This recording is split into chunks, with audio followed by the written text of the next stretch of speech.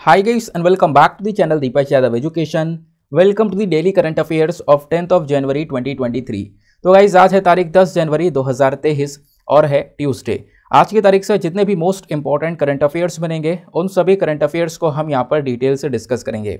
ये video UPSC और state PSC के पॉइंट ऑफ़ व्यू से बहुत ज़्यादा इंपॉर्टेंट होता है तो चलो शुभारंभ करते हैं। और मैं आपको बता दूँ, रोज़ाना पाँच बजे राइट टाइम आपको ये वीडियो इसी चैनल पर मिल जाता है। तो आज कौन कौन समय पर इस वीडियो के अंदर आ चुका है, नीचे कॉमेंट सेक्शन में ज़रूर से बता देना। बाकी इस वीडियो में हम मेजरली इंडियन एक्सप्रेस के ऊपर तो फोकस करते हैं और इंडियन एक्सप्रेस के साथ साथ कुछ इंपॉर्टेंट सोर्सेज जैसे कि PIB down to earth live mint जैसे इंपॉर्टेंट सोर्सेज के जो अच्छे आर्टिकल्स होते हैं, जो एग्जामिनेशन के लिए इंपॉर्टेंट है, उनको भी डिटेल से डिस्कस करते हैं। इसके लिए आपको अलग से कोई पी आई एनालिसिस मैं देखता हूँ, काफ़ी सारे पी आई एनालिसिस जो है वो अपलोड होते रहते हैं। आपको अलग से देखने की कोई ज़रूरत नहीं है, कोई डाउन टू अर्थ का वीडियो अलग से देखने की ज़रूरत नहीं है, आपको इसी के अंदर सब कुछ मिल जाता है। ठीक है? बाकी, अगर आपने वीडियो का अंत मिस कर दिया ना तो सबसे इंपॉर्टेंट पार्ट आप मिस कर दोगे पूरे वीडियो का। अंत क्यों है इतना इंपॉर्टेंट क्योंकि बिल्कुल एंड में आपको टेस्ट सीरीज़ मिल जाएगी। करना क्या है? पूरे वीडियो को अच्छे से फोकस्ड होकर सुनना है, फिर लास्ट में आपको कुछ क्वेश्चंस मिलेंगे, उन क्वेश्चंस को आपने अटेम्प्ट करना है। ठीक है ना? अटेम्प्ट कर कर यहाँ पर अपना जितना भी स्कोर आएगा, वो स्कोर नीचे कमेंट सेक्शन में लिखना है। रोज़ाना के बेसिस पर जो पार्टिसिपेंट्स हैं, उस टेस्ट के अंदर में वो इंक्रीज़ हो रहे हैं। पता है, कल के वीडियो में 600 से ज़्यादा लोगों ने यहाँ पर अपना स्कोर नीचे कमेंट सेक्शन में लिखा है। तो आज आपको भी यहाँ पर ये काम करना होगा। और बाकी मैं आपको बता दूँ, इस लेक्चर का अगर आपको पीडीएफ चाहिए तो क्या करना है? सबसे पहले डाउनलोड करना है टेलीग्राम देन उसके बाद जाके सर्च बॉक्स में टाइप करना दीपक यादव एजुकेशन आगे यूपीएससी लगा देना। आपको ये वाला चैनल मिल जाएगा। यहाँ से आप डेली बेसिस पर इस लेक्चर के पीडीएफ को डाउनलोड कर पाओगे। साथ ही साथ में अगर आप मेरे साथ में पर्सनली कनेक्ट करना चाहते हो तो इंस्टाग्राम पर जा सकते हो, और वहाँ पर भी आपको दीपक यादव एजुकेशन ही लिखना है, और दस से ज़्यादा लोग मेरे साथ में वहाँ पर जुड़ चुके हैं। आप भी मेरे साथ में पर्सनली जुड़ सकते हो। तो ये है कल के वीडियो का स्क्रीनशॉट। ये हमने क्यों लगाया? तो कल का वीडियो मैंने आपको बोला ना, रोज़ाना पाँच बजे वीडियो आ जाता है। तो आप ये देखो कल के वीडियो में टोटल कितने लोग लाइव थे। कल सुबह पाँच बजे लगभग 558 लोग यहाँ पर लाइव जो है इस वीडियो को देख रहे थे। और डेली बेसिस पर ये नंबर साढ़े पाँच सौ से ऊपर जा रहा है। और काफ़ी सारे लोग की जो हैबिट्स है वो बदल चुकी है। यार, मुझे अच्छा लगता है जब लोग अपनी पर्सनल चीज़ें यहाँ पर शेयर कर रहे होते हैं। उन्होंने मुझे बताया कि देखो पिछला जो सप्ताह है ना उन्होंने कोशिश करी, काफ़ी सारे लोगों ने पिछले पूरे सप्ताह में रोज़ाना पाँच बजे उठ के ये वीडियो देखा है और वाकई में उनके नाम मैंने नीचे कॉमेंट सेक्शन में देखे हुए उन्होंने रेगुलर बेसिस पर उन क्वेश्चन के आंसर भी दिए हैं। तो ये जो डिसिप्लिन आप दिखा रहे हो और ये जो जिस प्रकार से आप हार्डवर्क कर रहे हो ना, ये कहीं बर्बाद नहीं जाने वाला है। और ये चीज़ मुझे भी मोटिवेट करता है कि यार मैं आपके लिए जितना पॉसिबल हो सके मैं उतनी चीज़ें यहाँ पर करता रहूँ। तो मुझे बहुत अच्छा लगा कि यार इतने सारे लोग डेली बेसिस पर यहाँ पर लाइव देख रहे हैं और आपको ये मोटिवेशन मिलता है, इस वजह से यहाँ पर एक स्क्रीनशॉट लगा दिया जाता है, क्योंकि काफ़ी सारे लोग बोलते हैं, सर, ये जो नंबर है ना, ये हमें मोटिवेट करता है कि इतने सारे लोग पाँच बजे उठ रहे हैं तो हम क्यों नहीं उठ सकते? तो इस वजह से ये स्क्रीन आपको लगा कर दिखा दिया है और आज जितने भी लोग, जो हाईएस्ट लाइव जाएगा ना, उसका एक स्क्रीनशॉट खींच कर कोई भी व्यक्ति जो है ना टेलीग्राम वाले ग्रुप में डाल देना, मैं इसको कल लगा दूँगा, क्योंकि यहाँ पर मैं इसको स्क्रीनशॉट को क्लिक नहीं कर रहा हूँ। ये अभी हमारे जो ये वीडियो को देख रहे हैं ना, किसी स्टूडेंट ने क्लिक करके टेलीग्राम पर डाला था, उसको मैंने यहाँ पर लगा दिया है। ठीक है? चलो, आगे आते हैं और स्टार्ट करते हैं आज के सेशन को। सेशन को बहुत अच्छे से बिल्कुल फोकस्ड होकर सुनना है, ताकि आपकी लिसनिंग पावर अच्छी हो। साथ ही साथ में जब आपको वीडियो के लास्ट में मैं कुछ क्वेश्चंस दूँगा ना, जब आप अटैम्प्ट करोगे, तब आपको पता चलेगा कि हाँ आपने कितने अच्छे से कितने गहराई से पढ़ाई करी है। ठीक है? चलो, आज का जो सबसे पहला आर्टिकल है, ये बात करता है नीलगिरी बायोस्फीयर रिज़र्व के बारे में। ये आर्टिकल द हिंदू के अंदर भी था, लेकिन हुआ क्या? ये बाद में इंडियन एक्सप्रेस के अंदर भी आया, फिर उसके बाद में लाइव मिंट के अंदर भी आया। इस वजह से ये आर्टिकल हमारे लिए बहुत ज़्यादा इंपॉर्टेंट हो चुका है तो इसको मैं दोबारा से कवर करूँगा डोंट वरी तो यहाँ पे न्यूज़ क्या है? देखो, मैं यहाँ पर न्यूज़ ये लिखी हुई है, ठीक है ना? तो यहाँ पे आप न्यूज़ देख पाओगे, ऊपर तीन चार जो लाइंस होंगी वो न्यूज़ यहाँ पे आपको समझाएगी। फिर उसका बैकग्राउंड डेटा मैं आपको समझाऊँगा, जो एग्जामिनेशन में पूछा जाएगा। खबर यहाँ पर ये निकल कर आती है कि हाल ही में एक पेपर पब्लिश किया गया कंजर्वेशनिस्ट के थ्रू और उस पेपर के अंदर यह बताया गया कि जो एशियन एलिफेंट है, जो पूरे एशिया में पाए जाते हैं, जिनकी संख्या इंडिया में सबसे ज़्यादा है। और जो लास्ट सेंसस है, उसके अकॉर्डिंग बात करें तो कर्नाटका के अंदर सबसे ज़्यादा एशियन एलिफेंट्स आपको देखने को मिलेंगे। तो ये जो एशियन एलिफेंट्स की, जो भी बेसिकली इनका रहने का जगह है ना नीलगिरी बायोस्फेयर रिज़र्व के अंदर, ये पिछले कुछ समय में लगातार ख़त्म होता जा रहा है। बहुत सारा एरिया यहाँ पर ख़त्म कर दिया गया है तो इन एलिफेंट्स के लिए बहुत कम जगह बच रही है। इस बेसिस पर यहाँ पर एक पेपर पब्लिश हुआ था। इसी वजह से एशियन एलिफेंट साथ ही साथ में लेलगरी बायोस्फेयर रिज़र्व ये दोनों ही चीज़ें न्यूज़ में हैं। ठीक है? तो ये तो आपने न्यूज़ पढ़ लिया, या आपने करंट अफेयर पढ़ लिया, लेकिन यूपीएससी के अंदर एक ट्रिकी चीज़ ये आती है कि आपको करंट अफेयर से अपने स्टैटिक पार्ट को लिंक करना होगा, क्योंकि सवाल आपके बैकग्राउंड डेटा यानी स्टैटिक पार्ट से ही पूछा जाएगा। जैसे कि कैसे सवाल पूछा जाएगा मैं आपको समझाता हूँ। ये तो आपने पढ़ लिया। कि हाँ भैया नीलगिरी बायोस्फीयर रिज़र्व के अंदर जगह खत्म हो रही है एशियन एलिफेंट्स के लिए, है ना? तो ये यहाँ पर एक चिंता वाली बात भी हो जाती है। स्टडी ने ये चीज़ें मेंशन करी है और उसके साथ साथ आपने करना क्या है? पहली चीज़ तो ध्यान रखनी है एशियन एलिफेंट्स के बारे में। एशियन एलिफेंट्स पूरे एशिया में पाए जाते हैं। उसके बाद यहाँ पर एक होते हैं अफ्रीकन एलिफेंट्स आपको पता होगा, जो कि पूरे अफ्रीका में पाए जाते हैं। ठीक है? बात क्लियर हो गई। तो एशियन एलिफेंट्स का जो आयुसियन स्टेटस है वेरी वेरी इंपॉर्टेंट ये पूछा जाएगा। तो एशियन एलिफेंट्स का आयुसियन स्टेटस है बेसिकली एंडेंजर्ड ठीक है ना? इसको एंडेंजर्ड कैटेगरी में रखा गया है। इसका मतलब है, ये जो हाथी है ना, ये बहुत ही ज़्यादा खतरे में है, बहुत ज़्यादा डेंजर में है। ठीक है ना? और इनकी संख्या पिछले कुछ समय पर लगातार खत्म हो रही है। इनको एक प्रोटेक्शन की आवश्यकता है। ठीक है? फिर वाइल्ड लाइफ प्रोटेक्शन एक्ट 1972 में इनको शेड्यूल वन में कवर किया गया है। शेड्यूल वन में कवर करने का मतलब है कि इनको हाई प्रोटेक्शन प्रोवाइड करवाई जा रही है। अगर कोई इनकी हंटिंग वगैरह करता है तो उसके ऊपर हाई पेनल्टी वगैरह चार्ज की जाएगी, आप ऐसा कह सकते हो। यही चीज़ें पूछी जाती हैं। ठीक है? अब दूसरा जो आपसे पूछा जाएगा एग्जामिनेशन के अंदर, वो है नीलगिरी बायोस्फीयर रिज़र्व यहाँ से सवाल बन सकता है। तो नीलगिरी बायोस्फीयर रिज़र्व के बारे में थोड़ा सा हम लोग डिस्कशन करेंगे। आपके एग्जामिनेशन के लिए काफ़ी इंपॉर्टेंट है। तो ये नीलगिरी बायोस्फीयर रिज़र्व कहाँ पर स्थित है? देखो, इसका जो मेजर एरिया है ना, वो दो राज्यों में फैला हुआ है। केरला और तमिलनाडु। यहाँ पे आप देखोगे, ये इंडिया का मैप हुआ। नीचे जस्ट आप देखोगे तो यहीं पर केरला, यहीं पर तमिलनाडु देखने को मिलता है, दोनों राज्य देखने को मिलते हैं। तो यहीं पर नीलगिरी बायोस्फीयर रिज़र्व भी नज़र आएगा। तो कुछ हिस्सा यहाँ पर केरला में, कुछ हिस्सा यहाँ पर तमिलनाडु में आपको यहाँ पर नीलगिरी बायोस्फीयर रिज़र्व का देखने को मिल जाता है। बात क्लियर हो गई। इसका बेसिकली जो कोर एरियाज़ है, वो इन दो राज्यों में फैला हुआ है। यहाँ पे आपको ध्यान में रखना है। आपसे ऑप्शन में अगर पूछा जाए, कौन से राज्य में है तो इन दो राज्यों का नाम तो आपको पता होना चाहिए। कन्फ्यूज़न क्रिएट करने के लिए कुछ भी दिया जा सकता है। ठीक है? बात क्लियर हो गई। आगे आते हैं। अब इस पूरे पर्टिकुलर बायोस्फीयर रिज़र्व के अंदर बहुत सारे इंपॉर्टेंट अलग अलग प्रकार के जानवर भी पाए जाते हैं और बहुत सारी अलग अलग प्रकार की जो ट्राइबल पॉपुलेशन है, जो ट्राइब्स हैं, वो भी पाई जाती हैं। और मैं आपको बता दूँ कि जानवरों को लेकर तो सवाल अभी नहीं पूछा गया लेकिन ट्राइब्स को लेकर सवाल पूछा गया है कि इस पर्टिकुलर एरिया में कौन कौन सी ट्राइब्स पाई जाती है, कुछ नाम दे दिए गए और फिर नीचे आपको ऑप्शन दे दिए गए ठीक है तो फोना की बात करें तो यहाँ पे कौन कौन से जानवर देखने को मिलते हैं? Nilgiri tahr, Nilgiri langur, slender loris black buck tiger gaur, Indian elephant, Morton. इस प्रकार के जानवर यहाँ पे पाए जाते हैं।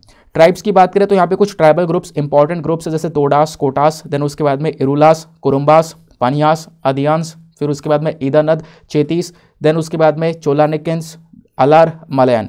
तो ये कुछ यहाँ पर ट्राइबल पॉपुलेशन देखने को मिलती है जो कि इस पर्टिकुलर बायोस्फीयर रिज़र्व के अंदर रहती है। ठीक है? ये था हमारा आर्टिकल बाकी एक चीज़ और है।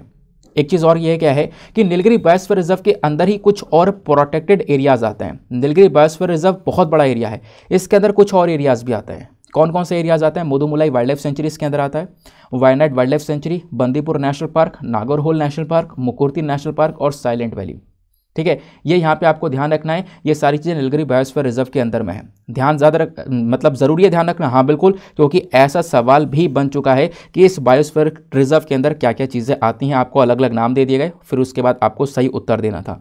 ठीक है, मैं क्वेश्चन नहीं दिखा रहा हूँ, वो क्वेश्चन मैं आपको द हिंदू के वीडियो में कई बार दिखा चुका हूँ, आपको याद भी आ रहा होगा। तो मैं यहाँ पर ये चीज़ें के ऊपर थोड़ा ज़्यादा ज़ोर दे रहा हूँ, ठीक है? आर्टिकल क्लियर हो गया, आगे आते हैं। नेक्स्ट आर्टिकल की तरफ़, अगला इंपॉर्टेंट न्यूज़ रबर प्लांटेशन अभी हमारे लिए न्यूज़ में है। तो जिसके बेसिस पर आज का थंबनेल भी बनाया गया है। तो न्यूज़ क्या है? पहले हम लोग इसको समझ लेते हैं।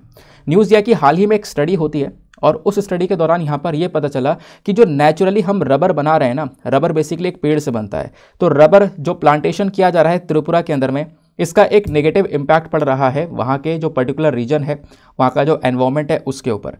इस वजह से यहाँ पर जो रबर का प्लांटेशन है हमारे लिए काफ़ी ज़्यादा न्यूज़ में आया है।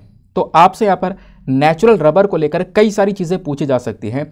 और ये टॉपिक ऐसा हो चुका है जो कि लगातार काफ़ी ज़्यादा न्यूज़ में बना हुआ है। है ना? आपने देखा होगा, द हिंदू के अंदर भी काफ़ी बार नेचुरल रबर लगातार चर्चा में है और अब यहाँ पर इंडियन एक्सप्रेस के अंदर भी चर्चा में आ चुका है।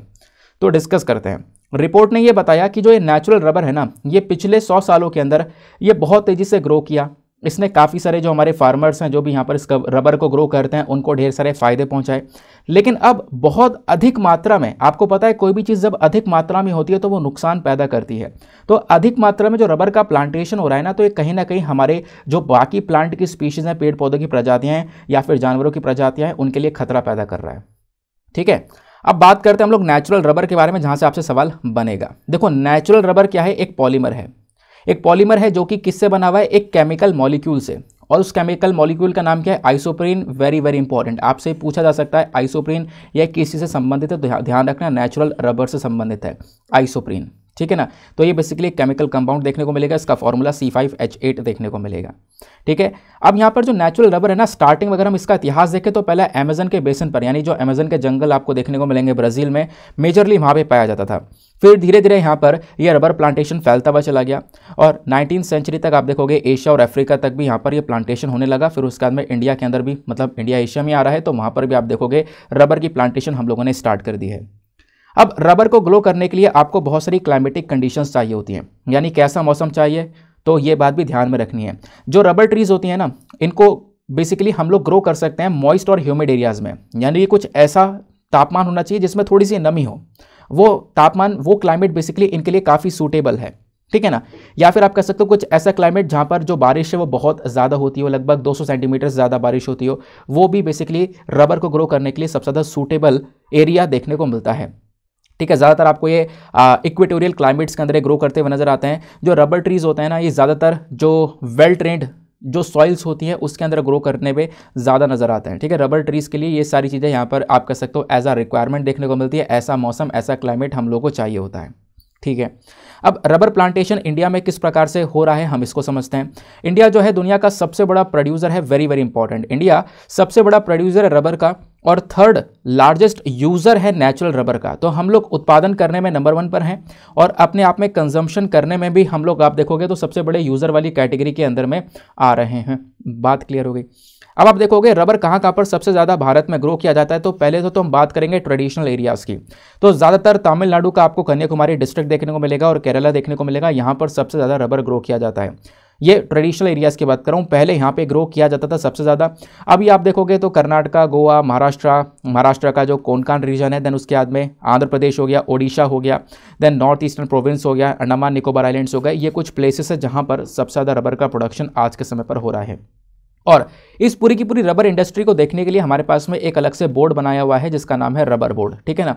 ध्यान रखना। तो जो रबर बोर्ड एक स्टैचुरी बॉडी है, एक स्टैचुरी बॉडी मतलब इसको हमने एक एक्ट के माध्यम से बनाया है, उस एक्ट का नाम है रबर एक्ट 1947 इसका हेड ऑफ़िस कहाँ पर है? कोतियाम के अंदर, केरला में।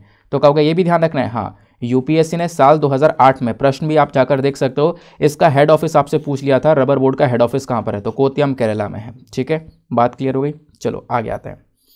नेक्स्ट इंपॉर्टेंट आर्टिकल पर।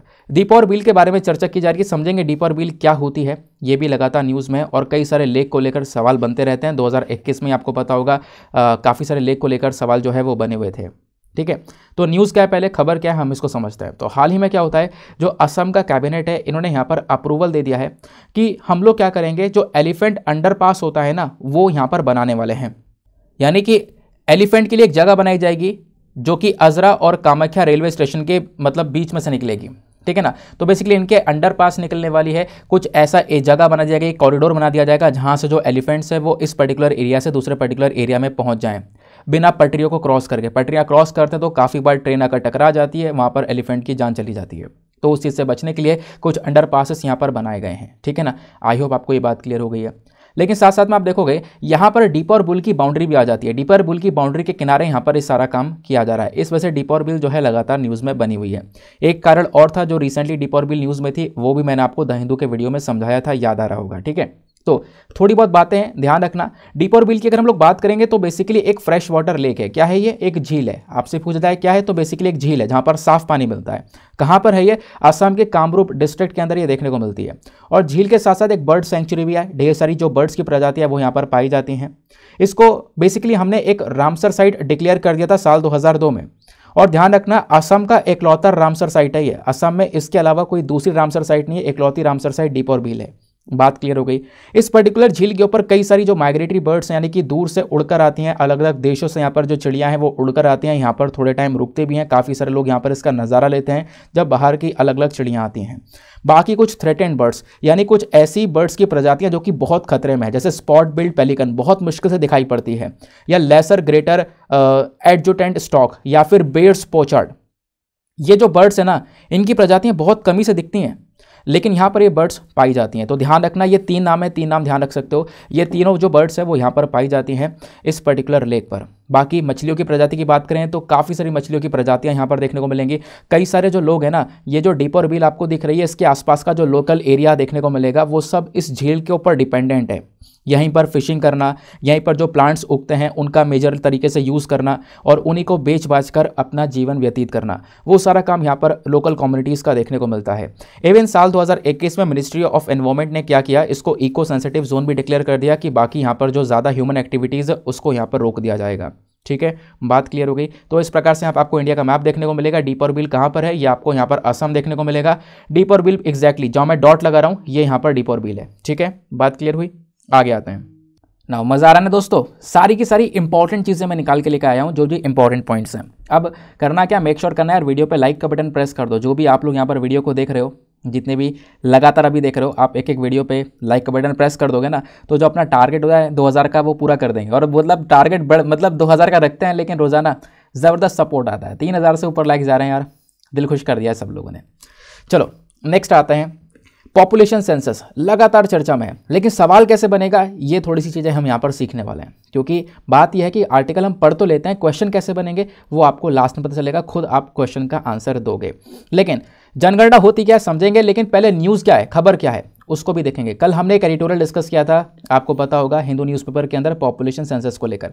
आज एक और आर्टिकल आया है। आर्टिकल क्या है कि हाल ही में हमारी केंद्र सरकार ने राज्य सरकार को इन्फॉर्म कर दिया है कि जो ये सेंसस है, जो जनगणना है ना इसको हम पोस्टपोन कर रहे हैं सितंबर 2023 तक। क्योंकि ये जनगणना वैसे 2021 में होनी तो थी, क्योंकि आपको पता होगा जनगणना हर 10 साल बाद होती है। आखिरी हुई थी 2011 में, यहाँ पर आप देख पा रहे होंगे 2011 की जनगणना। लेकिन अब ये 2021 में होनी थी कोविड की वजह से हो नहीं पाई, इसको पोस्टपोन करते हुए चले गए। तो अब सितंबर 2023 तक इसको पोस्टपोन कर दिया गया है। इस वजह से ये सेंसस न्यूज़ में आ चुका है। ठीक है, बात क्लियर हो गई। अब हम इसके रूल्स एंड रेगुलेशंस के अकॉर्डिंग बात करें तो यहाँ पर सेंसस कंडक्ट किया जाएगा तभी, जब जो भी हमारे, आप कह सकते हो कि डिस्ट्रिक्ट्स होंगे सब डिस्ट्रिक्ट्स होंगे, तहसील, तालुका पुलिस स्टेशन जितने भी एरियाज़ होंगे, इनकी जो बाउंड्री है ना, वो बिल्कुल फ्रीज कर दी जाएगी। इनकी बाउंड्री बिल्कुल यहाँ पर फ्रीज कर दी जाएगी, उसके तीन महीने बाद सेंसस किया जाएगा, क्योंकि अगर उसके बाद क्योंकि अगर हम बाउंड्री को फ्रीज नहीं करते हैं ना तो अगर कोई भी चेंज होगा तो वो सेंसस के अंदर गिनती में नहीं आएगा। इस वजह से यहाँ पर बाउंड्री को फ्रीज करने के बाद में हम यहाँ पर उसके बाद में सेंसस करने वाले हैं। ठीक है? अब सेंसस होता क्या है? पहले हम इसको समझेंगे। ये थोड़ा सा इंपॉर्टेंट है। यानी सवाल जहाँ से बनेगा, ये थोड़ा सा इंपॉर्टेंट पार्ट बन जाता है। सेंसस का मतलब है कि बेसिकली एक प्रोसेस है जहाँ पर हम लोग कुछ डेटा जो है ना, वो कलेक्ट करते हैं। लोगों का पॉपुलेशन का एक डेटा हमारे पास में आता है कि कितनी जनसंख्या है कितनी कितनी कौन कौन सी जनसंख्या है। कितने एज के कितने लोग हैं, वो सारा का सारा डेटा हमारे पास में एक पर्टिकुलर जनगणना के दौरान आता है। इसको हर 10 साल में कंडक्ट किया जाता है, हमने डिस्कस किया। और भारत के अंदर बहुत इंपॉर्टेंट पॉइंट जो सेंसस है, ये सबसे पहली बार स्टार्ट हुआ था British viceroy Lord Mayo के अंदर में 1872 में। तो ये यहाँ पर British viceroy Lord Mayo नाम ध्यान रखना है, इनके अंडर में यहाँ पर पहला सेंसस स्टार्ट किया गया था 1872 में। फिर उसके बाद में भारत के अंदर जो पहला सिंक्रोनस सेंसस था सिंक्रोनस सेंसस मतलब पूरे इंडिया में एक साथ एक बार में सेंसस होना। ठीक है ना? एक होता है नॉन सिंक्रोनस यानी जगह जगह जगह जगह इंडिया के कुछ कुछ हिस्सों में यहाँ पर सेंसस होना। लेकिन सिंक्रोनस का मतलब है पूरे देश में एक बार, एक ही समय पर सेंसस होना। तो जो सिंक्रोनस सेंसस था, वो बेसिकली 1881 में हुआ था, और उसके बाद से लगातार आप कह सकते हो हर दस साल बाद ये सेंसस होता हुआ चला गया। बात क्लियर हो गई। अब इंडिया के सेंसस को लेकर कुछ इंपॉर्टेंट की फैक्ट्स हैं। सबसे पहले इसकी नोडल मिनिस्ट्री कौन है? यानी किस मिनिस्ट्री के अंदर में आता है? Very important ministry of home affairs के अंडर में आता है। सेंसस को हम लोग एक पर्टिकुलर एक्ट के माध्यम से कंडक्ट करते हैं। उसका नाम है सेंसस एक्ट 1948 जो पॉपुलेशन सेंसस की जो जनगणना होती है ना, ये ध्यान रखना हमारे भारतीय संविधान के अंदर आर्टिकल 246 के तहत यूनियन सब्जेक्ट में अंदर आता है। बहुत इंपॉर्टेंट है। यूनियन सब्जेक्ट ध्यान रखना है इस बात को। एक हमारे पास में स्टेट सब्जेक्ट है यूनियन सब्जेक्ट है तो आपसे पूछा जा सकता है कि जो पॉपुलेशन सेंसस है, ये बेसिकली कौन से सब्जेक्ट के अंदर में आएगा? तो ये यूनियन सब्जेक्ट यानी हमारी केंद्र सरकार का मैटर है। केंद्र सरकार यहाँ पर पॉपुलेशन सेंसस को लेकर सारे के सारे काम कर सकती है। ठीक है? और यहाँ पर एक चीज़ और मैंशन की गई है। एक सेकेंड रुक जाओ। शायद एक एक स्लाइड यहाँ पर गायब हो गई है। चलो कोई बात नहीं, अभी यहाँ पर इतनी इन्फॉर्मेशन लेते हैं। ये आपको इंडिया के सेंसस को लेकर कुछ इंपॉर्टेंट की फैक्ट्स नज़र आएँगे, ठीक है ना? तो पॉपुलेशन सेंसस के बारे में जो आपसे प्रिलिम्स में सवाल बन सकता है, वो यहीं से बन सकता है, ध्यान में रखना। अगले पर्टिकुलर आर्टिकल पर आते हैं FRP fair and remunerative price ये लगातार न्यूज़ में है। होता क्या है एफआरपी ये आपने समझना होगा इंपॉर्टेंट है। खबर क्या निकल कर आई है, पहले इसको समझते हैं। जो गन्ना फार्मर्स हैं, यानी कि गन्ने की खेती करने वाले जो हमारे किसान भाई हैं। तो शुगर केन जो फार्मर्स हैं हरियाणा के अंदर में खासकर ये धरना के ऊपर बैठ चुके हैं। क्यों? धरना के ऊपर इसलिए बैठे क्योंकि इनकी मांग यह है कि जो इनके राज्य है ना, इनकी राज्य सरकार क्या करे? जो इस गन्ने के ऊपर सरकार की साइड से जो सपोर्ट मिलता है ना, जैसे एमएसपी फ़सलों के ऊपर मिलता है मिनिमम सपोर्ट प्राइस है ना? जो फ़सलें होती हैं ना, इनके ऊपर सरकार का एक सपोर्ट मिलता है, सरकार यहाँ पर सस्ते दाम में ये खरीद लेती है। एमएसपी जिसको हम लोग बोलते हैं मिनिमम सपोर्ट प्राइस बेसिकली इससे क्या होता है फार्मर्स को एक सिक्योरिटी मिल जाती है। है ना? उनको यहाँ पे ज़्यादा नुकसान नहीं झेलना पड़ता है। मार्केट के अंदर, कितने ही प्राइस के अंदर कोई भी बढ़ोतरी कम कम होते हुए नज़र आए, कोई भी यहाँ पर चेंजेस हुए, कोई इंपैक्ट नहीं पड़ेगा।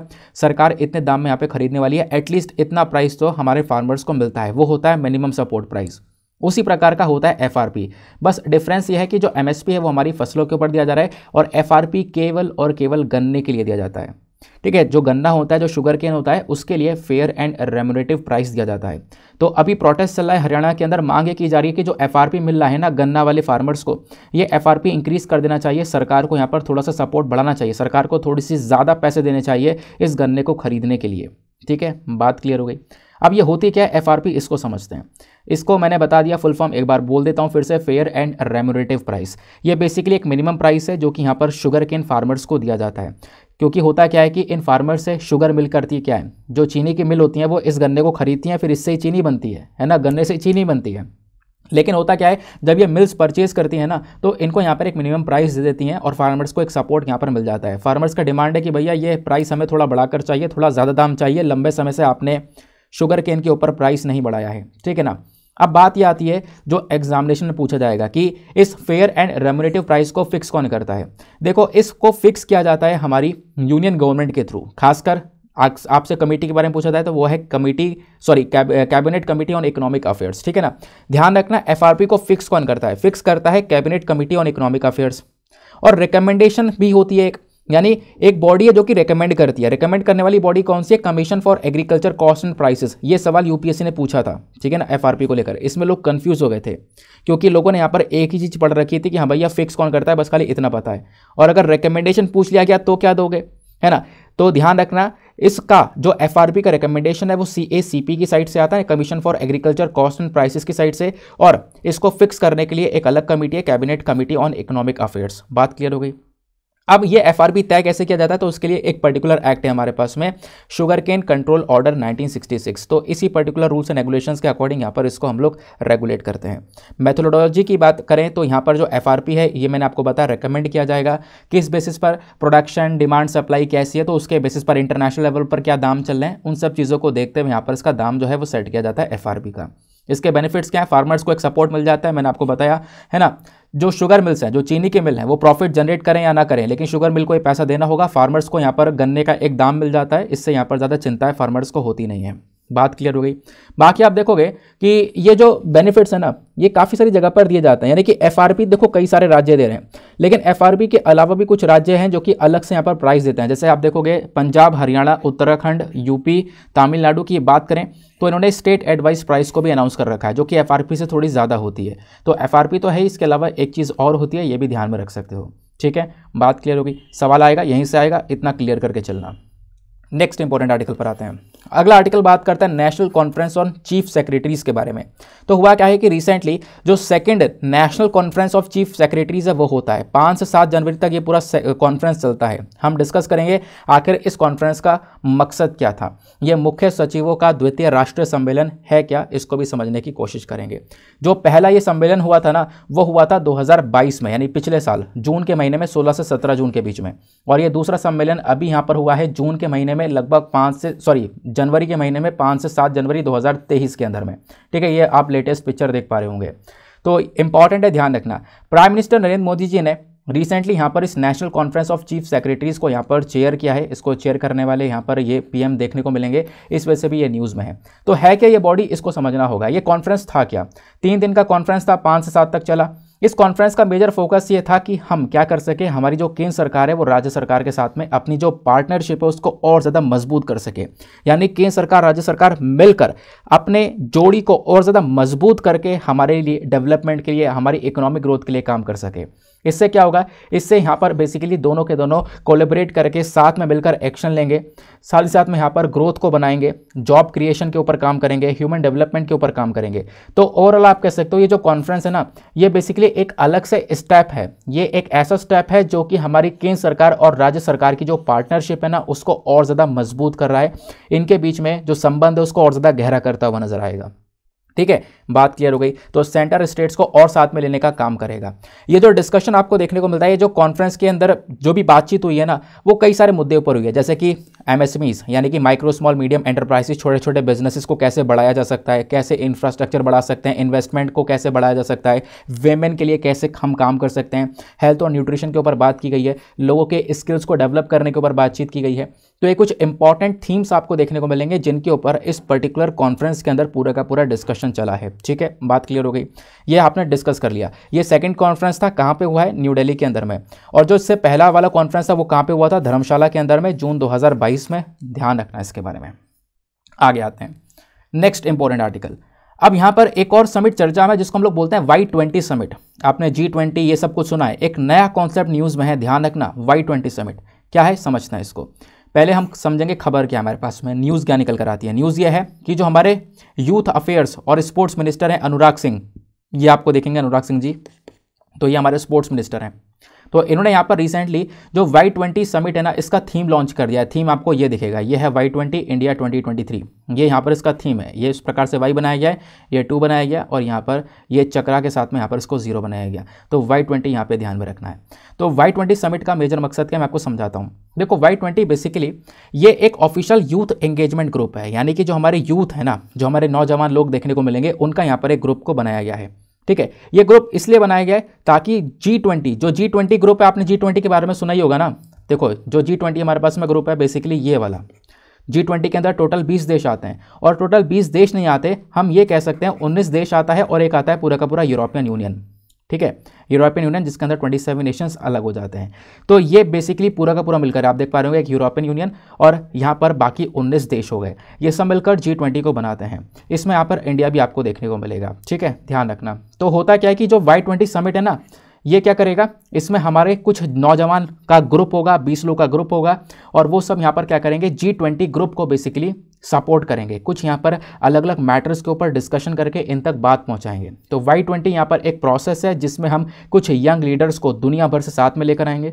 ठीक है ना? यंग लीडर्स को दुनिया भर से लेकर साथ में आने के साथ साथ हम कुछ ग्लोबल चैलेंजेस के बारे में डिस्कशन करेंगे। दुनिया भर में क्या क्या प्रॉब्लम्स हैं, उनके बारे में चर्चा की जाएँगी। चर्चा करने के बाद में वो सारी चीज़ें रिकमेंड की जाएँगी जी ट्वेंटी ग्रुप के पास में जी ट्वेंटी लीडर्स के पास में। फिर जी ट्वेंटी लीडर्स उसके ऊपर चर्चा करेंगे। अगर उनको कुछ अच्छा लगता है, आगे इंप्लीमेंट करने के लिए तो उसको लागू कर देंगे। ठीक है? बाकी वाई ट्वेंटी समिट ये न्यूज़ में है। तो ध्यान रखना इंडिया जो है ना, वो इस समिट को पहली बार होस्ट कर रहा है। फ़र्स्ट टाइम भारत यहाँ पर इसको होस्ट कर रहा है, इस वजह से ये आर्टिकल बहुत इंपॉर्टेंट हो जाता है। यही चीज़ें यहाँ पे डायरेक्टली बता देती है कि हाँ एग्जामिनेशन में सवाल आने वाला है। तो इंडिया फ़र्स्ट टाइम इसको होस्ट कर रहा है। तो यूथ, जो 20 एंगेजमेंट ग्रुप आपको देखने को मिलेगा, इसमें हमारा मेजर फोकस ये है कि हम ज़्यादा से ज़्यादा जो यंग लीडर्स हैं, उनको लेकर आएँ दुनिया भर से और कुछ आइडियाज़ के ऊपर डिस्कशन किया जाए और उन डिस्कशन के बाद में कैसे हम क्लाइमेट चेंज से लड़ सकते हैं, कैसे एनवायरमेंट को बचा सकते हैं, जो भी टॉपिक्स हमारे पास में आएँगे, फिर उसके ऊपर एक्शन लिया जाए, उसके ऊपर काम किया जाए कि हाँ अब यहाँ पर समय है काम करने का। वो सारी बातें ग्रुप ट्वेंटी यानी जो जी ट्वेंटी ग्रुप हैं, उनके लीडर्स के पास में पहुंचेंगी, उनका अप्रूवल मिलेगा, है ना? तो बेसिकली यहाँ पर इसको आगे इंप्लीमेंट किया जा सकेगा ठीक है, बात क्लियर हो गई? वाई ट्वेंटी समिट के बारे में आई होप आपको ये बातें समझ में आ चुकी होंगी। ये मैंने आपको बता दिया है। तो जी ट्वेंटी ग्रुप के अंदर में जितने भी देश हैं, नाम ध्यान रखना, एक एग्जामिनेशन के अंदर जी ट्वेंटी कंट्रीज़ को लेकर भी सवाल पूछा गया था, याद आ रहा होगा। है ना, कुछ मेंबर्स दे दिए गए थे और पूछा गया था, इनमें से कौन कौन से देश हैं जो जी ट्वेंटी का हिस्सा है, ठीक है? तो जी ट्वेंटी ग्रुप को याद रखने के लिए एक ट्रिक यहाँ पर है, जो कि सभी को पता होगी। ट्रिक का नाम है गुरु जी सीता, अब एस एस में जॉब करती है। ये यहाँ पर ट्रिक है। अब इसमें यहाँ पर गुरुजी, सीता, अब एसएससी एफसीआई में ये वर्ड से आपका पूरा का पूरा जी ट्वेंटी का, बीस का बीस देश याद हो जाएगा। जैसे गुरु जी का जी जो है, जिस उससे जर्मनी यू से यूएसए देन उसके बाद में आर से रशिया यू से यूके जे से जापान आई से इंडिया देन उसके बाद में सीधा की बात करें तो South Africa, Indonesia, Turkey, Australia. Then एक अब की बात करें तो अर्जेंटीना और ब्राज़ील। फिर उसके बाद में एसएससी की बात करें, Saudi Arabia, South Korea, Canada. Then F की बात करें तो यहाँ पर फ्रांस, चाइना और उसके बाद में इटली। देन यहाँ पर आपको मैक्सिको और यूरोपियन यूनियन देखने को मिलेगा। ठीक है ना? तो ये आप यहाँ पर देख पाओगे, इस प्रकार से ट्वेंटी कंट्रीज़ की एक ट्रैक है जो कि सभी को पता भी होगी, एक नॉर्मल सी ट्रैक है। आगे आते हैं। अगला आर्टिकल काफ़ी ज़्यादा न्यूज़ में राइट टू स्ट्राइक आपने सुना भी होगा राइट टू स्ट्राइक के बारे में। नहीं सुना है तो अब यहाँ पर आपको पता चल जाएगा और यहाँ पर एक क्लैरिटी भी मिल जाएगी।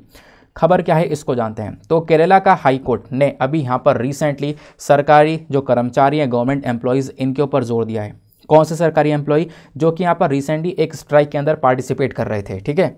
और स्ट्राइक का मतलब यह है कि ये धरने पर उतर कर आ चुके हैं। यहाँ पे ये लोग जॉब कर रहे हैं, धरने पर उतर कर आ चुके हैं, इनकी कुछ मांगे हैं, उसको यहाँ पर ये पूरा करने के लिए यहाँ पर मैंशन करते हैं। इससे क्या हो रहा है, जो नॉर्मल लाइफ है ना पब्लिक की, वो कहीं ना कहीं आप कह सकते हो अफेक्ट होती हुई नज़र आ रही है।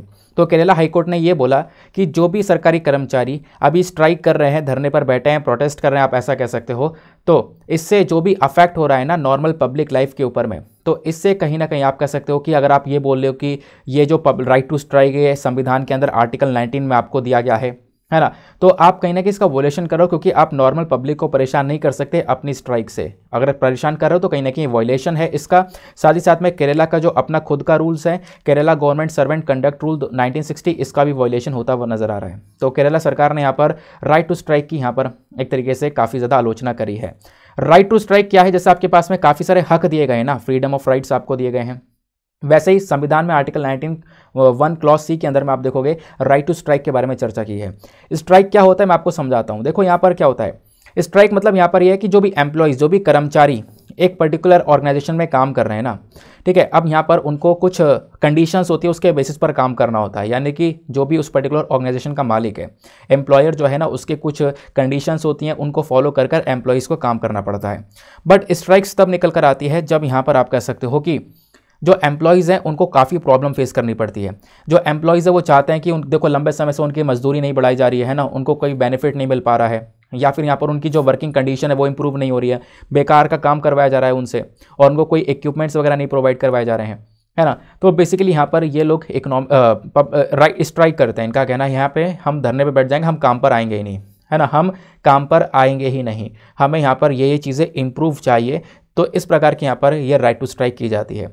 हर एक देश के अंदर यहाँ पर आप देखोगे, चाहे वो डेमोक्रेटिक कंट्री हो, चाहे वो कैपिटलिस्ट हो, चाहे वो सोशलिस्ट हो सबने यहाँ पे अपने वर्कर्स को राइट टू स्ट्राइक दे रखा है। लेकिन आपको यहाँ पे ध्यान में रखना चाहिए राइट टू स्ट्राइक का कभी कभी गलत यूज़ भी हो सकता है। अगर यहाँ पर इसका गलत यूज़ होता है तो कहीं ना कहीं बहुत बड़ी प्रॉब्लम क्रिएट कर सकता है इंडस्ट्री को ये लॉस में डाल सकता है। सभी लोग यहाँ पर इंडस्ट्री से हट जाएँगे, कोई इंडस्ट्री में जाएगा नहीं काम करने के लिए तो इंडस्ट्री लॉस में जा सकती है। प्रोडक्शन देश के अंदर रुक सकता है। तो कभी कभी इसका एक गलत इंपैक्ट भी पड़ सकता है, ये भी यहाँ पर बोला गया है। इससे डायरेक्टली एक देश की इकोनॉमी लगातार मतलब एक झटके से नीचे आ सकती है। तो इंडिया के अंदर जो राइट टू प्रोटेस्ट है ना, ये आपका एक फंडामेंटल राइट है, आपको पता होगा आर्टिकल 19 के अंदर बोला गया कि आपके पास में प्रोटेस्ट करने का हक है। लेकिन जो राइट टू स्ट्राइक है ना, ये बेसिकली एक फंडामेंटल राइट तो नहीं है बट एक लीगल राइट है। बहुत इंपॉर्टेंट पॉइंट है, ध्यान रखना। राइट टू स्ट्राइक आपका फंडामेंटल राइट तो नहीं है, लेकिन एक लीगल राइट है, ये बात यहाँ पर आपने ध्यान में रखनी है। ठीक है? बात क्लियर हो गई।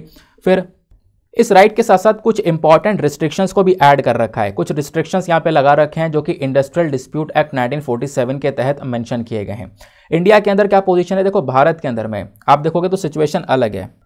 जैसे अमेरिका में राइट टू स्ट्राइक को किसी भी कानूनी तौर पर रिकग्नाइज नहीं किया गया है। लेकिन इंडिया के अंदर आप देखोगे, इस पर्टिकुलर स्ट्राइक को काफ़ी सारे जो एक्ट्स हैं, उनके तौर पर इनको रिकग्नाइज कर रखा है। तो काफ़ी सारी जो पावर्स हैं, यहाँ पे वर्कर्स को मिल जाती है राइट टू स्ट्राइक के माध्यम से, आप ऐसा देखोगे। तो राइट टू स्ट्राइक कई सारे लॉज है, जिसके थ्रू यहाँ पर रिकग्नाइज किया जाता है इंडिया के अंदर में, जैसा मैंने आपको बताया। और एक राइट right जो है, ये काफ़ी सारे लोगों को यहाँ पर मज़बूत भी कर देता है। बट मैंशन ये किया गया है कि देखो, जो हमारे फंडामेंटल राइट्स हैं ना यहाँ पर कुछ रीजनेबल रिस्ट्रिक्शंस भी हैं। अगर यहाँ पे आपको फंडामेंटल राइट दिए हैं तो यहाँ पे कुछ रीजनेबल रिस्ट्रिक्शन कुछ यहाँ पर रोक टोक भी लगाई जा सकती है। तो यहाँ पे अगर इस प्रकार से राइट टू स्ट्राइक अगर कोई गलत तरीके का इंपैक्ट डाला होगा राइट टू स्ट्राइक की वजह से कंट्री के अंदर इंडस्ट्रीज़ के ऊपर एक गलत इम्पैक्ट पड़ रहा होगा तो बेसिकली यहाँ पर जो स्टेट है, वो कहीं ना कहीं रिस्ट्रिक्शंस भी लगा सकती हैं, रोक भी लगा सकती हैं। आपके इस हक के ऊपर ये आपको ध्यान में रखना है। ठीक है? बाकी राइट टू स्ट्राइक को रिकग्नाइज किया गया कुछ इंटरनेशनल लॉस के माध्यम से, जैसे इंटरनेशनल लेबर ऑर्गेनाइजेशन जो है ना आईएलओ इसने भी यहाँ पर राइट टू स्ट्राइक को आप कह सकते हो कि एक मान्यता दे रखी है, इसको रिकग्नाइज कर रखा है। और इंडिया खुद यहाँ पर आईएलओ का मेंबर है, ध्यान रखना इंटरनेशनल लेबर ऑर्गेनाइजेशन का भारत भी यहाँ पर मेंबर है। राइट टू स्ट्राइक को लेकर कुछ इंपॉर्टेंट जजमेंट्स आए सुप्रीम कोर्ट के अंदर में, जैसे यहाँ पर Delhi Police versus Union of India 1986 का यहाँ पर केस आपको ये देखने को मिलेगा, जहाँ पर सुप्रीम कोर्ट ने सपोर्ट किया था कि आप यहाँ पर इन मेंबर्स का ऐसे ही एसोसिएशन नहीं बनने दे सकते, यानी कि इसके ऊपर रिस्ट्रिक्शन लगाने के लिए आप कह सकते हो सुप्रीम कोर्ट ने यहाँ पर इस चीज़ को सपोर्ट किया कि इसके ऊपर रोक भी लगाई जा सकती है राइट टू स्ट्राइक के ऊपर। फिर T K Rangarajan versus government of Tamil Nadu आपको देखने को मिलेगा। 2003 का यहाँ पर केस था, जहाँ पर अगेन सुप्रीम कोर्ट ने मेंशन किया कि जो एम्प्लॉयज़ है ना, इनके पास में कोई ऐसा फंडामेंटल राइट नहीं है कि वो स्ट्राइक कर सके। आपका लीगल राइट है बट यहाँ पर फंडामेंटल राइट यहाँ पर नहीं देखने को मिलेगा। तो ये बात यहाँ पर सुप्रीम कोर्ट ऑलरेडी इस चीज़ के बारे में पहले भी मैंशन कर रखा है। ठीक है? तो दो केस यहाँ पर पर्टिकुलर देखने को मिलेंगे राइट टू स्ट्राइक को लेकर। Next important news article again काफ़ी ज़्यादा इंपॉर्टेंट है। बात करने वाले हैं ग्लोबल ग्लेशियर चेंज चेंज के बारे में। तो अभी एक रिपोर्ट आई है जिसने ये बताया ट्वेंटी सेंचुरी के अंदर जो हमारे ग्लेशियर्स हैं, जो बर्फीले पहाड़ हैं, वो लगातार पिघलते हुए इतनी तेज़ी से पिघल रहे हैं कि वो आने वाले समय पर ख़त्म ही हो जाएँगे। ठीक है? तो हाल ही में यहाँ पर एक रिपोर्ट आई है जिसका नाम है ग्लोबल ग्लेशियर चेंज तो ये मैं चैलेंज पढ़ने जा रहा हूँ। तो ग्लोबल ग्लेशियर चेंज यहाँ पर इसका नाम है। और इसने यहाँ पर ये बताया कि देखो, जैसे जैसे तापमान बढ़ेगा, तापमान लगातार बढ़ रहा है, जैसे जैसे टेम्परेचर इंक्रीज होगा, इससे यहाँ पर जो पृथ्वी के ऊपर ग्लेशियर्स हैं, जो आपको यहाँ पर बर्फीले पहाड़ देखने को मिलेंगे, जो बर्फ़ देखने को मिल रही है, वो डिसअपियर होती चलेगी और इक्कीस तक, यहाँ पर ट्वेंटी फ़र्स्ट सेंचुरी तक ये बर्फ़ डिसअपियर हो जाएगी, ख़त्म हो जाएगी, दिखाई भी नहीं पड़ेगी, ये हालात हो जाएँगे। इससे बहुत नुकसान होगा पूरे दुनिया भर में क्या क्या नुकसान पहुंचेगा, उसको भी हम यहाँ पर समझने की कोशिश करेंगे। तो जो रिसर्चर्स आपको यहाँ पर नज़र आएँगे, इन्होंने बहुत इंपॉर्टेंट डेटा का इस्तेमाल किया है। पिछले 20 साल का जो सैटेलाइट का डेटा है, उसका यूज़ किया है, ताकि ग्लेशियर्स की हम प्रॉपरली मैपिंग कर सकें। तो यहाँ पे जो इनका अंदाज़ा लगाया जा रहा है ना तो यहाँ पे बोला जा रहा है एक सटीक अंदाज़ा है इनका। और सटीक अंदाज़ा है और इसको हमें बिल्कुल भी नज़रअंदाज नहीं करना चाहिए। हम यही करते हैं कि चीज़ें हमें पता है, लेकिन हम नज़रअंदाज कर कर लगातार यहाँ पर वही गलतियाँ दोहराते रहते हैं, जिसका भुगतान आने वाले समय पर भुगतना पड़ता है। तो यही चीज़ यहाँ पे बताई गई कि लगातार टेम्परेचर बढ़ रहा है और इसका इम्पैक्ट ग्लेशियर्स के ऊपर पड़ेगा और पॉसिबिलिटी है 2100 तक यहाँ पर ही ग्लेशियर्स खत्म ही हो जाएँगे। इस रिपोर्ट ने यह बताया कि सबसे पहली चीज़ जो ग्लेशियर्स है ना, वो बहुत तेज़ी, यानी जो बहुत रेट जो है ना उसका पिघलने का, वो बहुत ज़्यादा तेज़ देखने को मिलेगा। या फिर आप कह सकते हो बहुत बहुत तेज़ी स्तर से यहाँ पर ये पिघलते हुए नज़र आ रहे हैं। तो जो ग्लेशियर्स हैं ये क्लाइमेट चेंज की वजह से टेम्परेचर के बढ़ते तहत यहाँ पर इंक्रीज पिघलते हुए यहाँ पर आप देखोगे जो इनकी पिघलने की स्पीड है वो इंक्रीज हो चुकी है। इवन आप देखोगे 1994 ध्यान रखना मैं दो वर्ड यूज़ कर रहा हूँ 1994 और 2017 1994 और 2017 के बीच में पता है, कई सारा बर्फ़ पिघल चुका है। कितना ग्लेशियर पिघला है, कोई अंदाज़ा है? 30 ट्रिलियन टन्स के आसपास, ना मिलियन ना बिलियन यहाँ पे ट्रिलियन की बात की जा रही है 30 ट्रिलियन टन्स के आसपास यहाँ पे बर्फ़ पिघला है। और ये कहीं ना कहीं हर साल 1.2 ट्रिलियन टन के आसपास यहाँ पे बर्फ़ पिघलता हुआ नज़र आ रहा है। जो ग्लेशियर, जो आपको इस प्रकार की बर्फ़ एल्प्स की पहाड़ियों में देखने को मिलेंगे, आइसलैंड में देखने को मिलेगा, अलास्का में देखने को मिलेगा ना, ये सब बहुत तेज़ी से पिघलता हुआ नज़र आ रहा है। यानी कि अर्थ का जो ग्लेशियर है, आधे से ज़्यादा जो ग्लेशियर है, वो इक्कीस तक तो खत्म हो जाएगा, वैनिश हो जाएगा, हमें वो दिखाई भी नहीं पड़ेगा। ठीक है? तो ये यहाँ पर मेंशन किया गया है। हम लोगों ने कई सारी शपथें ले रखी हैं कि हाँ अपने टेम्परेचर को इतना मेंटेन करेंगे, इतना चलेंगे। जैसे पेरिस क्लाइमेट एग्रीमेंट के अंदर हमने यहाँ पर एक लिमिट सेट कर रखी है कि जो ग्लोबल टेम्परेचर है वो वन डिग्री सेल्सियस तक हम लोग लेकर चलने वाले हैं। तो जितनी भी चीज़ें हम लेकर चल रहे हैं ना, ये कहीं ना कहीं हम आज के समय पर फॉलो भी नहीं कर पा रहे हैं। टेम्परेचर उससे भी कई गुना ज़्यादा तेज़ी से बढ़ रहा है। ठीक है? तो आने वाले समय पर जो हमने टारगेट भी सेट कर रखे उसके हिसाब से ही बात करें तो लगातार गर्मी बढ़नी बढ़नी है। और कहीं ना कहीं इससे आने वाले तीस सालों के अंदर हमें बहुत बड़ा झटका लगेगा। तीस सालों बाद यहाँ पर हम देख पाएँगे, काफ़ी सारी बर्फ़ ऑलरेडी वैनिश हो चुकी होगी, दिख भी नहीं रही होगी। ठीक है? और ये ग्लोबल वार्मिंग अगर ये कंटिन्यू होता रहा, जैसे करंट रेट जो है ना ग्लोबल वार्मिंग का वो 2.7 डिग्री सेल्सियस देखने को मिलेगा। इस प्रकार से यहाँ पर थोड़ा सा बढ़ता जा रहा है। तो ये कहीं ना कहीं बहुत ज़्यादा बुरे हालात यहाँ पर क्रिएट करने वाला है। ठीक है?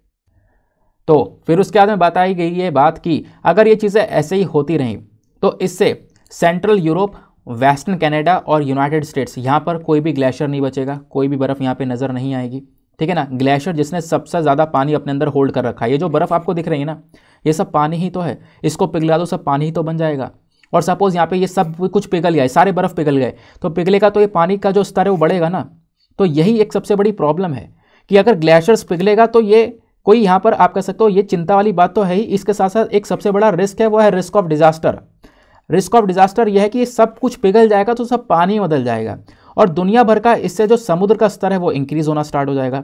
और इवन आप देखोगे पिछले साल, पिछले सालों में, साल 2000 से लेकर साल 2019 के बीच में, यानी पिछले कुछ 19 सालों में, जो समुद्र का स्तर है वो ऑलरेडी 21 परसेंट से बढ़ चुका है। कारण क्या था? यही ग्लेशियर्स पिघलने का कारण था। तो इससे आने वाले समय पर दिक्कतें और बढ़ने वाली हैं। कहोगे, इससे क्या दिक्कतें होंगी? इससे जो भी कंट्रीज़ हैं, जिनका एक बहुत बड़ा हिस्सा जो कि समुद्र के पास में है, जैसे इंडिया का एग्ज़ाम्पल है तो हमारा महाराष्ट्र, मुंबई हो गया। उसके बाद में और कई सारे स्टेट्स जो समुद्र से लगे पड़े हैं, वो सब डूब जाएँगे आने वाले समय में।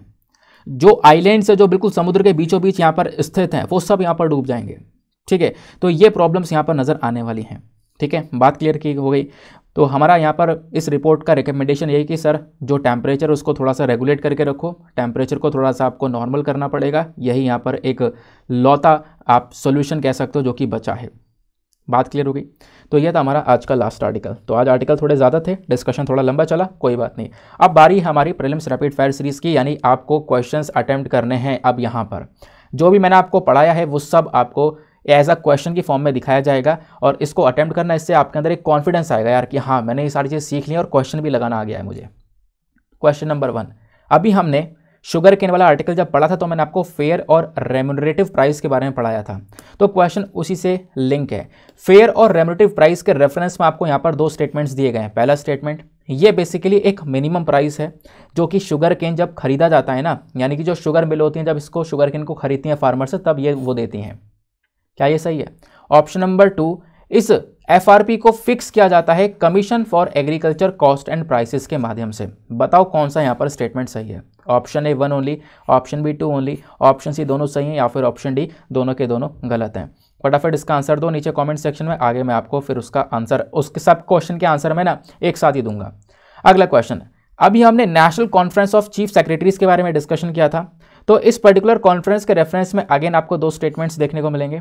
पहला स्टेटमेंट ये जो कॉन्फ्रेंस है ना, इसका मेजर फोकस क्या है? इसका मेजर फोकस है कि राज्य सरकारों के साथ में पार्टनरशिप को बढ़ाना और इकोनॉमिक ग्रोथ को प्रमोट करना। दूसरा स्टेटमेंट बोलता है कि जो इसका पहला कॉन्फ्रेंस हुआ था, वो हुआ था धर्मशाला के अंदर में साल 2022 में। बताओ यहाँ पे कौन सा स्टेटमेंट सही है? Option A one only option B two only option C दोनों सही हैं या फिर ऑप्शन डी दोनों के दोनों गलत हैं? फटाफट आंसर लिखते रहो स्कोर ज़रूर लिख कर जाना है कि हाँ आपने कितने क्वेश्चन सही करे हैं। अगला क्वेश्चन अभी हमने वाई ट्वेंटी समिट के बारे में डिस्कशन किया था। तो वाई ट्वेंटी समिट के रेफरेंस में अगेन आपको दो स्टेटमेंट्स यहाँ पर दिए गए हैं। पहला स्टेटमेंट वाई ट्वेंटी जो है ना एक ऑफिशियल यूथ एंगेजमेंट ग्रुप है। यहाँ पर कुछ नौजवान होंगे जो कि बेसिकली जी ट्वेंटी ग्रुप को लेकर यहाँ पर क्या करने वाले हैं, कुछ आप कह सकते हो कि अलग अलग पॉलिसीज़ के ऊपर बातचीत करने वाले हैं। और वो सारी चीज़ें यहाँ पर जी ट्वेंटी के पास में जाएँगी। और फिर वो जी ट्वेंटी उसके ऊपर डिस्कशन करेंगे जी ट्वेंटी के लीडर्स तो बेसिकली जो वाई ट्वेंटी है ना, ये एक ऑफिशियल यूथ एंगेजमेंट ग्रुप है जी ट्वेंटी का। ये बात समझ में आ गई। दूसरा, रशिया जो है ना, इसका, यानी रशिया जो है वाई ट्वेंटी समिट का पहली बार होस्टिंग कंट्री बना हुआ है। ये भी आपको बताना है। तो Russia is hosting the Y twenty summit for the first time यानी कि जो हम 2023 की समिट की बात करें तो इस बार कौन से देश ने होस्ट किया क्या रशिया ने होस्ट किया है? ज़रा नीचे कमेंट सेक्शन में इसके बारे में बताओ। ठीक है? यहाँ पे आपको ऑप्शन दिए गए option A one only option B two only option C दोनों सही हैं या फिर ऑप्शन डी दोनों के दोनों गलत हैं। नेक्स्ट क्वेश्चन पर आते हैं। अगला क्वेश्चन बात करता है पॉपुलेशन सेंसस के बारे में। अभी हमने ये आर्टिकल डिस्कस किया था, याद होगा। तो इंडिया के पॉपुलेशन सेंसस के रेफरेंस में आपको दो स्टेटमेंट्स दिए गए हैं अगेन पहला स्टेटमेंट इंडिया के अंदर में जो सेंसस है, ये सबसे पहली बार स्टार्ट किया गया था under the British viceroy Lord Batten नाम ध्यान से पढ़ना। दूसरा स्टेटमेंट बोलता है इंडियन कॉन्स्टिट्यूशन सेंसस के अकॉर्डिंग बात करें तो बेसिकली इंडियन भारतीय संविधान के अकॉर्डिंग बात करें तो जो सेंसस है वो एक यूनियन सब्जेक्ट है। क्या ये सही है? ज़रा नीचे कमेंट सेक्शन में इसका आंसर दो। कौन सा स्टेटमेंट सही है? Option A one only option B two only option C both one and two option D कोई कोई भी नहीं नीदर वन नर टू आते हैं नेक्स्ट क्वेश्चन की तरफ़। अभी हमने डीप और बिल के बारे में भी डिस्कशन किया था। तो डीप और बिल जो झील है ना, इसके रेफरेंस में अगेन आपको दो स्टेटमेंट्स दिए गए हैं। पहला स्टेटमेंट डिपोर बिल बेसिकली एक रामसर साइट है इकलौती रामसर साइट है असम के अंदर में। दूसरा क्वेश्चन एक थ्रेटेंड बर्ड है एक्वेटिक एक बर्ड है, जिसका नाम है बेर पोकर्ड ये वाली जो बर्ड है। ये एक थ्रेटेंड बर्ड है, यानी इसको सबसे ज़्यादा खतरा है। क्या ये बर्ड यहाँ पर इस लेक में पाई जाती है? नीचे आपको ऑप्शन दिए गए हैं option A one only option B two only option C दोनों सही है या फिर ऑप्शन डी दोनों के दोनों गलत हैं। ज़रा नीचे इसका आंसर दो। फिर अभी हमने रबर प्लांटेशन को लेकर एक आर्टिकल डिस्कस किया था तो रबर प्लांटेशन को लेकर एक क्वेश्चन है यहाँ पर। रबर प्लांटेशन के रेफरेंस में आपको यहाँ पर दो स्टेटमेंट्स दिए गए हैं। पहला स्टेटमेंट जो रबर है ना, वो मॉइस्ट और ह्यूमिड क्लाइमेटिक कंडीशन में ग्रो नहीं होता है डज नॉट ठीक है ना? यानी कि जो भी हमारा ऐसा क्लाइमेट जहाँ, जिसमें नमी है, उसमें यहाँ पर रबर ग्रो नहीं हो सकता। दूसरा स्टेटमेंट जो नेचुरल रबर होता है ना, ये एक पॉलीमर है, जो कि केमिकल मॉलिक्यूल से बना है, जिसको हम लोग बोलते हैं प्रोपलिन क्या प्रोपलिन ही एक केमिकल मॉलिक्यूल है, जिससे यहाँ पर नेचुरल रबर बना हुआ है? ज़रा बताओ नीचे कमेंट सेक्शन में। ऑप्शन ए बोलता है one only option B two only option C दोनों स्टेटमेंट सही या फिर ऑप्शन डी दोनों के दोनों गलत हैं। चलो, आगे आते हैं उसके बाद अगले क्वेश्चन की तरफ़। नेक्स्ट क्वेश्चन बात करता है नीलगिरी बायोस्फीयर रिज़र्व के बारे में, हमने स्टार्टिंग में डिस्कस किया था। तो नीलगिरी बायोस्फीयर रिज़र्व के रेफरेंस में आपको दो स्टेटमेंट्स दिए गए हैं। पहला statement Panna wild life sanctuary भी बायोस्फीयर रिज़र्व का, यानी इस बायोस्फीयर रिज़र्व का हिस्सा है। दूसरा स्टेटमेंट नीलगिरी बायोस्फीयर रिज़र्व का जो मेजर पार्ट है ना, जो मेजर कोर एरिया है, वो केरला और तमिलनाडु के अंदर फैला हुआ है। बताओ कौन सा स्टेटमेंट सही है? Option A one only option B two only option C दोनों सही है या फिर ऑप्शन डी दोनों के दोनों आपको गलत देखने को मिलेंगे। तो ये थे हमारे आज के कुछ क्वेश्चंस जो भी आपके आंसर निकल कर आए हैं, अब मैं आपको आंसर चेक करवाऊँगा, फिर उसके बाद अपना स्कोर जो है नीचे कमेंट सेक्शन में लिखना। लास्ट वाले क्वेश्चन से आंसर देखना स्टार्ट कर देते हैं। तो आपसे पूछा गया नीलगिरी बायोस्फीयर रिज़र्व के रेफरेंस में दो स्टेटमेंट पहला, पन्ना वाइल्ड लाइफ सेंचुरी क्या बायोस्फीयर रिज़र्व का हिस्सा है? तो क्या यहाँ पे आपको पता होगा, मैं जब मैंने पढ़ाया था तो ये सब के बारे में पढ़ाया था. Mudumalai wild life sanctuary Wayanad, Bandipur Nagarhole Mukurthi और साइलेंट वैली ये सब यहाँ पर नीलगिरी बायोस्फीयर रिज़र्व का हिस्सा है, लेकिन पन्ना के बारे में मैंने आपको पढ़ाया ही नहीं तो दैट इज़ वाई ये आंसर हो गया है रॉन्ग ध्यान रखना, ऐसा क्वेश्चन पूछा गया था। यूपीएससी के लेवल से भी इस क्वेश्चन को थोड़ा टफ ही बना दिया गया है। तो अब पहला वाला तो हो गया गलत। दूसरा वाला नीलगिरी बायोस्फीयर रिज़र्व बेसिकली एक इसका जो मेजर कोर एरिया है, क्या ये तमिलनाडु और केरला में फैला हुआ है? बिल्कुल सही उत्तर है। यहाँ पर ऑप्शन बी इसका सही आंसर हो जाएगा। अगले क्वेश्चन पर आते हैं।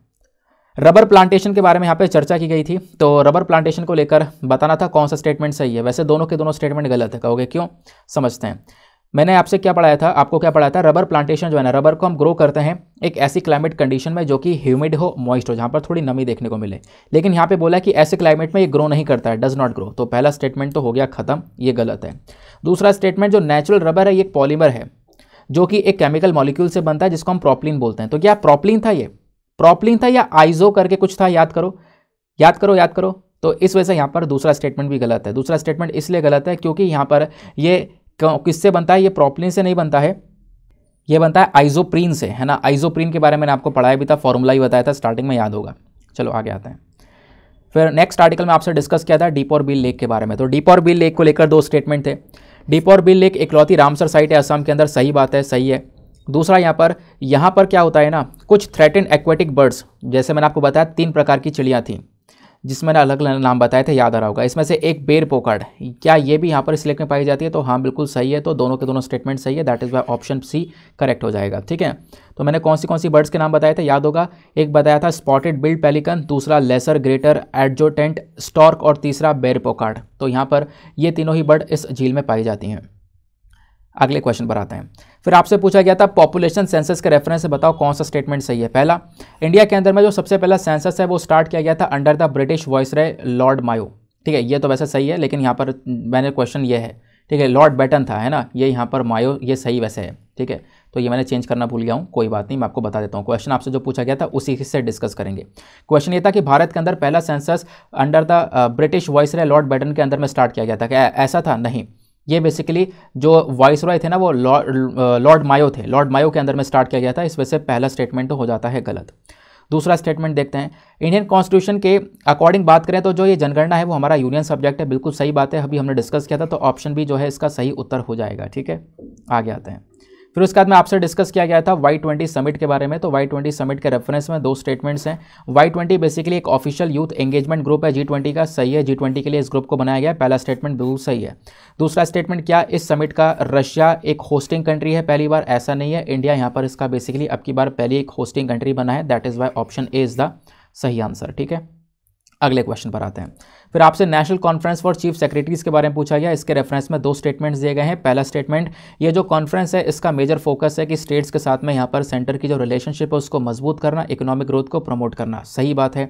दूसरा स्टेटमेंट बोलता है कि जो पहला कॉन्फ्रेंस है ना, ये हुआ था धर्मशाला के अंदर साल दो हज़ार बाईस में। ये भी सही है, क्योंकि मैंने आपको बताया था, जून में धर्मशाला दो हज़ार बाईस में पहला कॉन्फ्रेंस हुआ था, दूसरा कॉन्फ्रेंस अभी नई दिल्ली में हुआ है। That is why option C is the correct answer अगले क्वेश्चन की तरफ़ आते हैं। नेक्स्ट क्वेश्चन बात करता है किस चीज़ के बारे में? फेयर एंड रेमोरेटिव प्राइस के बारे में। तो एफआरपी के रेफरेंस पर दो स्टेटमेंट दिए गए। पहला स्टेटमेंट ये बेसिकली एक मिनिमम प्राइस है जो कि यहाँ पर जिस प्राइस पर हम लोग जो गन्ना है वो खरीदते हैं, यानी जो शुगर मिल्स है वो इस गन्ने को खरीदती हैं फार्मर से। सही बात है, अभी हमने डिस्कस किया था। दूसरा, इस प्राइस को फिक्स किया जाता है commission for agriculture cost and prices के थ्रू गलत। यहाँ पर फिक्स करने वाली बॉडी कौन सी है? तो मैंने आपको इसीलिए बोला था स्टार्टिंग में ध्यान से सुनना। इसको फिक्स करने वाली बॉडी है cabinet committee on economic affairs जो ये commission for agriculture cost and prices है ना, इसका काम है रिकमेंड करना। तो ये जो बॉडी यहाँ पर दी गई है, इसका काम है रिकमेंड करना। प्राइस को फिक्स करने का काम नहीं है फिक्स करने का काम दूसरी बॉडी का है। That is why option is the correct answer तो दोस्तों, आपका क्या रहा है स्कोर जरा नीचे कॉमेंट सेक्शन बताओ, कितने आपने उत्तर सही दिए हैं? ठीक है, आज का थोड़ा सा मुझे लगता है कुछ कुछ क्वेश्चंस थोड़े से टिपिकल हो गए होंगे, लेकिन कोई बात नहीं, आपने अच्छे से सुना होगा तो ज़रूर बढ़िया से जवाब दिए होंगे और काफ़ी सारे लोग के सही सही आंसर जा रहे हैं सारे के सारे, जो कि अच्छा लगता है।